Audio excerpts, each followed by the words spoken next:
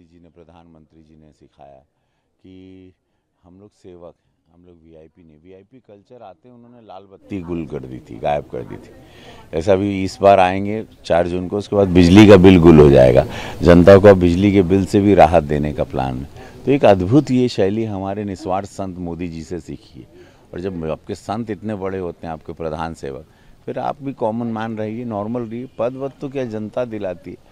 ये मोह माया से हम बहुत ऊपर जा चुके हैं। जीवन में सारे पद हम दे देख महादेव हमको सुपरस्टार बनाए, जनता ने हमने वो सारी, बोलते ना, शोहरत, दौलत सब देख ली। तो ये बड़ा आनंद आता है हमको तहजीब तमीज़ से जीना। और ये मोदी जी का उसका पूरा श्रेय जाता है।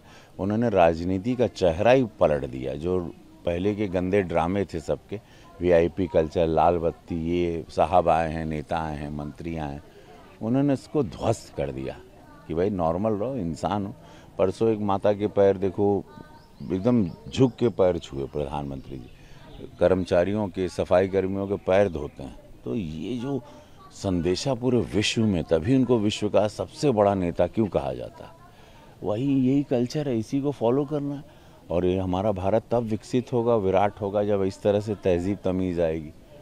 फिर देखिएगा, फिर इस भारत को कोई रोक नहीं सकता, किसी की ताकत नहीं इस भारत को रोकने की। तो जितना समय लगेगा फिर भी लाइन में रहेंगे। अब ये तो मैं, मैं देरी से आया मैं पूजा में रह गया था। अगर मैं सुबह सात बजे आता जल्दी कर लेता मैं पूजा में लीन हो गया था। तो मैं थोड़ा समय लगा कोई बात नहीं इसमें आनंद आ रहा है हवा बढ़िया चल रही है। मौसम इतना मस्त हो गया। उत्सव का आनंद लिया। आ,